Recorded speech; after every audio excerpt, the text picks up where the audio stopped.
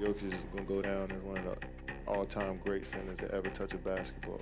In a league full of incredibly talented and skilled players, Jokic is a unicorn. Everything starts and stops with Nikola Jokic. Incredible player, which is why he's two-time MVP. He plays the game that way. He plays for his teammates and his teammates play for him.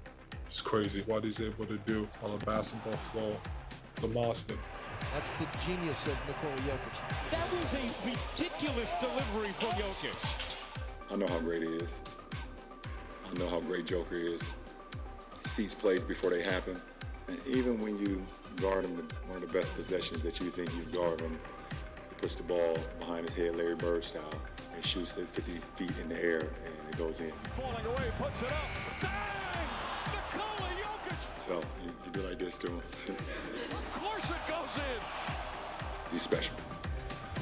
Not only is he delivered, he's absolutely dominated. And this guy is chasing history. He's certainly one of the greatest to ever play the game. Jokic. Falling away, it's good. What a touch he has.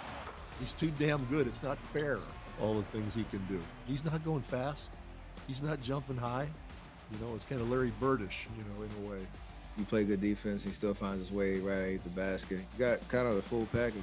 I don't know how to hype him up anymore. the creativity. His mind just works differently than most humans. Everybody gets cracked up into his stats, but I don't think a lot of people talk about like this part of his game. Nikola Jokic is an absolute franchise cornerstone. No one ever could have seen that he'd be a two-time MVP, passing Wilt Chamberlain, it seems like every other night. He's a great player and give him the respect he deserves.